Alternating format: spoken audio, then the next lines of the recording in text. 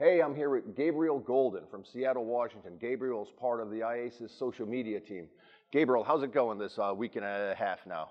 It's going pretty well. We're pushing out a lot of content on um, Instagram, on Facebook, LinkedIn, and uh, Twitter. So we're um, we're having a lot of fun. Excellent. Uh, you have a actual social media background with your last employer. Yes, yes, I did social media for two of my last employers for a total of about eight years. So I've been in the social media game for a little while. Wow, that's that's actually uh, quite a yeah, quite a bit of experience you're bringing to the table here. Great to have you on board. I know we're pushing out a lot of content, so we're, we're obviously keeping you guys uh, probably as busy as possible. Yeah, we're pretty busy. The good thing is we have a really good team.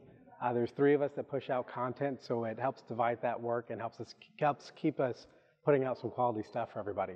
And speaking about being busy, you're also in BCFE as a row coach, so you're pulling double duties here uh, at this event. Yes, it's a lot of fun. Um, I've been this is my first year as a row coach, so I've got my six students I'm responsible for and making sure they keep up, and uh, I use kind of my off time to get in a lot of my social media posting.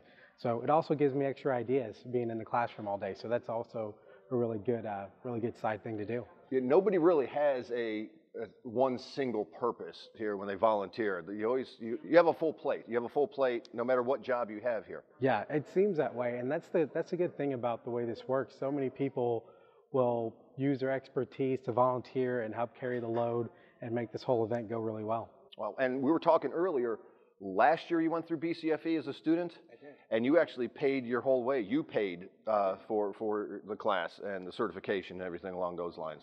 Yeah, it was um, a decision we made. I wanted to have a career change, and I knew this is what I wanted to do. So um, I paid for it myself, and it's already ended up kind of starting to pay back. I've met a lot of great yep. people on my social media team and BCFE, and been able to network with a lot of possible future employers. Just um, just doing our day-to-day activities here. Yeah, that shows a tremendous self-initiative. That's that's great, great drive.